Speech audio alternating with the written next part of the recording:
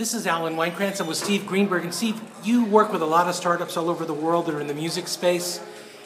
Music sort of brings the whole world together, and I'm looking at multinational startups, teams all over the world getting together. Can you share some ideas and visions about music and how music brings startups together? Well, music brings people together across boundaries because music doesn't, you know, have any language limitation.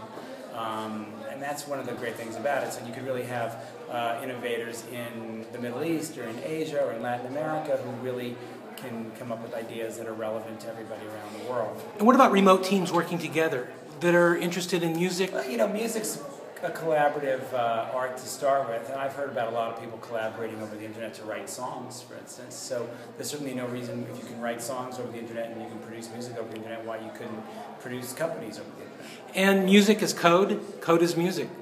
Everything's code, isn't it? it is. Thank you so much for your insights. Great talk today. This Thank is. Alan Weinkrantz at the 140 Characters Conference.